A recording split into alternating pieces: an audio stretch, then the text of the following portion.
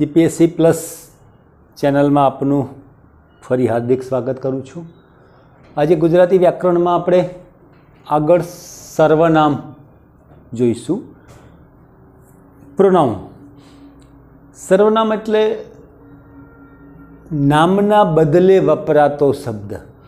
A word which used instead of noun that is called pronoun આપણે પહેલાં જોયું, આની અગાઉ કે ભાઈ વિશેષણ અને સર્વનામ બંનેમાં ફરક શું છે?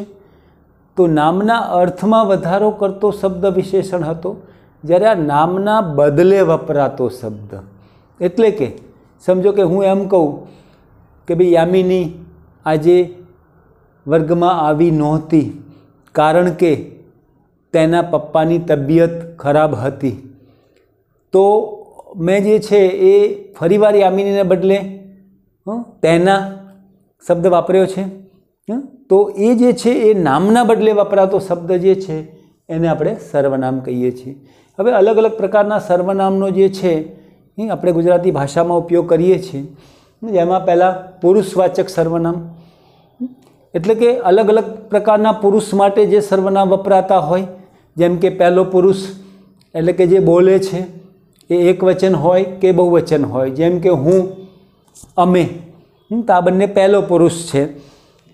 બીજો પુરુષ એક વચન ને બહુવચન, તું, તમે, કે જે લોકો સાંભળે છે, એને આપણે બીજો પુરુષ કહીએ છીએ. તો એ પણ પુરુષવાચક સર્વનામ છે. ત્રીજો પુરુષ કે જેના વિશે આપણે વાત કરીએ છીએ, જેમ કે તે તેણી આપણે તે શબ્દ બધા માટે વાપરીએ છીએ નિર્જીવ વસ્તુ માટે પણ વાપરીએ છીએ. અને તેઓ તો આવા એક વચન અને બહુવચનમાં વપરાતા સર્વનામ. હવે અહીંયા કેટલાક સર્વનામ જે છે, કેટલાક પુરુષવાચક સર્વનામ કર્તા તરીકે વપરાય છે, કેટલાક કર્મ તરીકે વપરાય છે, અને કેટલાક જે છે એ સંબંધ દર્શાવતા હોય છે, અથવા આપણે એને પજેસી ફોર્મ ઇંગ્લિશમાં કહીએ છીએ. કર્તાલક્ષી મીન્સ જેનો ઉપયોગ કર્તા તરીકે થયો છે. કર્મલક્ષી જેનો ઉપયોગ કર્મ તરીકે થયો છે. જેમ કે હુંનું કર્મ વિભક્તિનું રૂપ મને. મને આ પેન આપો. તેઓને રમકડા આપો. તેણીને હવે જવા દો. તો આવા જે છે કર્મ તરીકે વપરાતા જે સર્વનામ છે એ પણ પુરુષવાચકનો ભાગ, ભાવ છે. કેટલાક સંબંધવાચક જેમાં નોની નુના તેઓની પાસે તેઓનો પ્રોગ્રામ સારો રહ્યો. તો તેમની તો આવા સંબંધ દર્શાવતા જે છે એ પણ પુરુષવાચક સર્વનામ છે. એટલે કર્તા તરીકે વપરાતા, કર્મ તરીકે વપરાતા સંબંધ તરીકે વપરાતા, આ બધા જ અલગ અલગ પ્રકારના જે છે એ પ્રોનાઉન છે. તો આ બધા જે છે પુરુષવાચક સર્વનામમાં આવશે. બીજું સર્વનામ જે છે સ્વવાચક. એટલે કે જે સર્વનામ સ્વ પોતાના માટે વપરાતું હોય, સ્વનું સૂચન કરતું હોય, તો એમાં કેટલાક એવા શબ્દો આવે છે કે જે જાતે, પંડે, પોતે મેં જાતે આ કામ કર્યું. હું પોતે મુખ્યમંત્રીને મળ્યો હતો. તો જાતે, પંડે, આ બધા જે છે, એ સ્વ માટે વપરાતા શબ્દો છે. તો આપણે એને સ્વવાચક સર્વનામ કહીએ છીએ. અનિશ્ચિત સર્વનામ. તો જે સર્વનામ કોના માટે વપરાયું છે તે નક્કી ન કરી શકાય. તો તેને આપણે અનિશ્ચિત સર્વનામ, ઇન્ડેફિનેટ પ્રોનાઉન કહીએ છીએ. જેમ કે કોઈક છે, કાંઈક છે? કેટલાક છે, આવા શબ્દો જે છે, એમ, જેમ કે અનિશ્ચિત સર્વનામો એક ઉપયોગ કરું, તો ત્યાં કોઈક ઊભું છે. હવે કોઈક શબ્દ જે છે, એ શું બતાવે છે? અનિશ્ચિત સર્વનામ. ત્યાં રમણ ઊભો છે. રમણને કાઢીને હું ત્યાં શબ્દ મૂક્યો છે, કોઈક. તો એ સર્વનામ છે. કારણ કે નામની બદલે વપરાતો શબ્દ, પણ એ કોણ છે, સૂચન નથી કરતો એટલા માટે એને અનિશ્ચિત સર્વનામ કહીએ છીએ. છે સર્વનામ. પ્રશ્નવાચક સર્વનામ. તો જે સર્વનામ પ્રશ્ન કરતું હોય તેને પ્રશ્નવાચક સર્વનામ કહેવાય. હવે ત્યાં કોણ ઊભું છે? કોણની નીચે રેખાંકિત શબ્દ છે? ખબર નથી. અને એ શબ્દ જે છે પ્રશ્ન કરે છે. કોણ? ધારો કે ત્યાં રમણ ઊભો છે, તો હું, મને ખબર નથી અને મારે પ્રશ્ન કરું, ત્યાં કોણ ઊભું છે? તો કોણ શબ્દ જે છે એ શું કરે છે? પ્રશ્ન કરતું સર્વનામનો શબ્દ છે. મીન્સ કે તે પ્રશ્નવાચક સર્વનામ છે. ત્યાં શું પડ્યું છે? ત્યાં શું પડ્યું છે? તો નિર્જીવ વસ્તુઓ માટે આપણે શું શબ્દનો પણ પ્રશ્નવાચક તરીકે ઉપયોગ કરીએ છીએ? પણ બધા શબ્દો જે છે એ પ્રશ્નવાચક સર્વનામ નથી હોતા.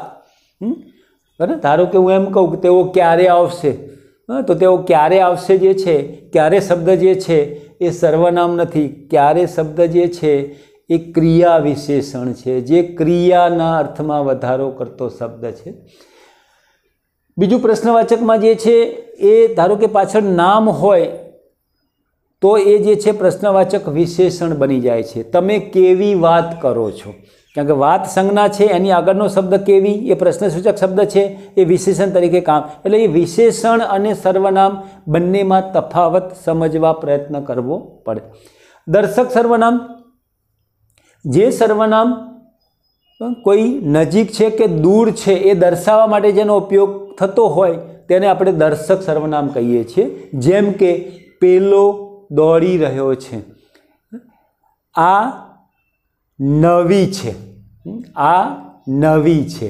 હા મીન્સ હવે તમે જુઓ, અહીંયા આ અને પેલું જે પર્ટિક્યુલરલી કોઈક, હું પેલું મેં કહ્યું પેલો દોડી રહ્યો છે, તો પેલો છોકરો પેલી છોકરી, જો એવો શબ્દ હું વાપરું, પણ એની જગ્યાએ મેં શબ્દનો ઉપયોગ કર્યો પહેલો પેલો છોકરો, તો આખો બંને શબ્દ ન વાપરવા અને એની જગ્યાએ પહેલો દોડી રહ્યો છે, તો એ સર્વનામ તરીકે કામ કરે છે.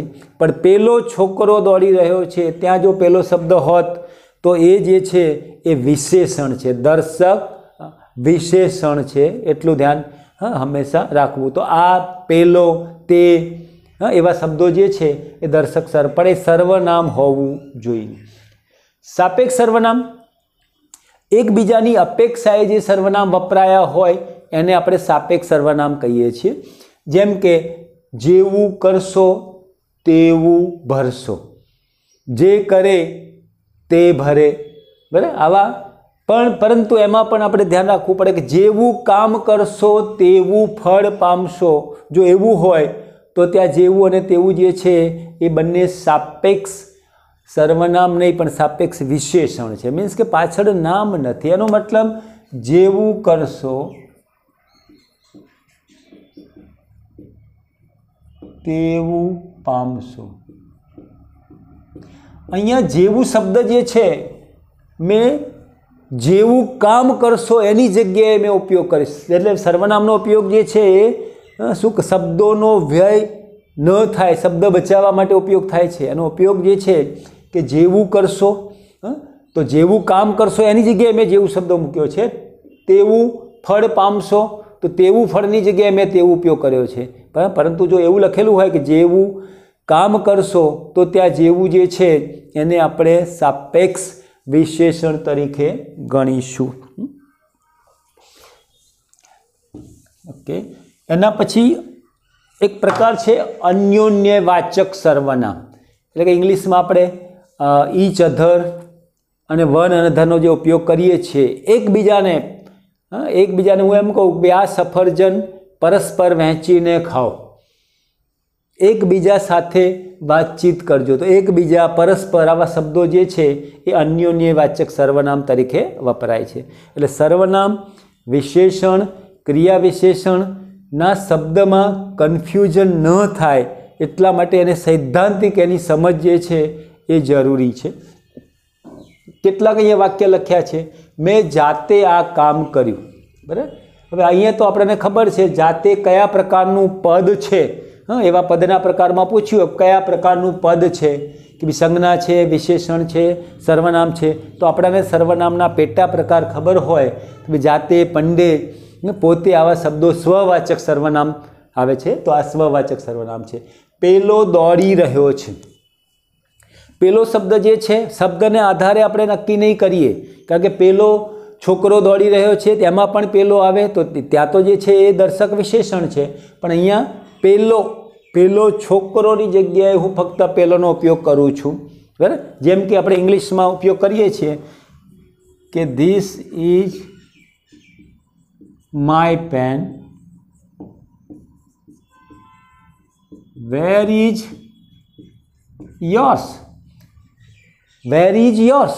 હવે તમે જુઓ અહીંયા ધીસ ઇઝ માય પેન તો માય જે છે, એ જે છે અહીંયા એડજેક્ટિવ તરીકે કામ કરે છે. This is a possessive adjective not possessive pronoun આ જે છે પજેસિવ એડજેક્ટિવ છે, કારણ કે નામના અર્થમાં વધારો કરતો શબ્દ વિશેષણ છે. એટલે આ વિશેષણ છે, જ્યારે આ જે છે એ પજેસી પ્રોનાઉન છે.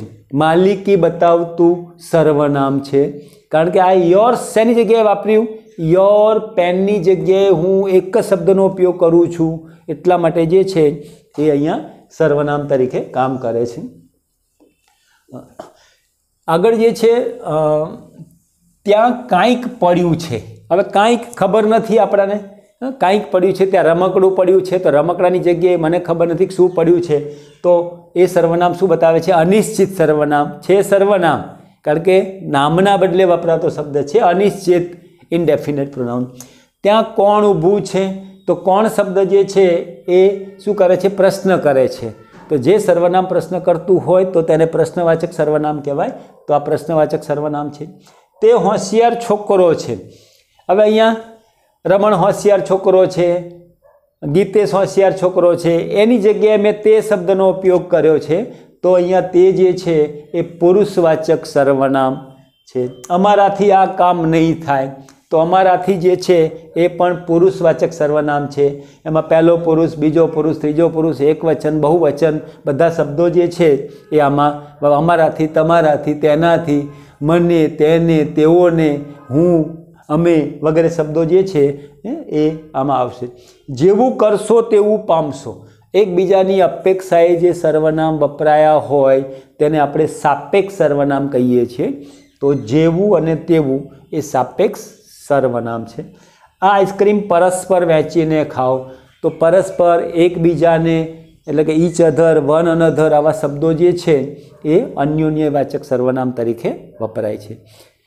અગાઉ પણ મેં આપને કહ્યું હતું કે જ્યારે બધા જ પદના પ્રકારની મિક્સ એક્સરસાઇઝ જ્યારે આવે ત્યારે ખરેખર એ વખતે આપણું પ્રોપર એનાલિસિસ થાય કે આપણે શબ્દને ખરેખર ઓળખવામાં ભૂલ તો નથી કરતા ને કારણ કે અહીંયા તો આપણને ખબર છે કે ભાઈ સર્વનામ છે એટલે આપણે એટલું તો નક્કી કરી શકીએ કે ભાઈ આ સર્વનામ છે. પછી એના પેટા પ્રકારને એટલા માટે આપણે સમજવા જરૂરી છે કે આપણે પદના પ્રકાર જ્યારે આપેલા હોય, પદ શોધવાનું કયા પ્રકારનું પદ છે, એ વખતે આપણાને જે છે આ ખૂબ ઉપયોગી બને છે.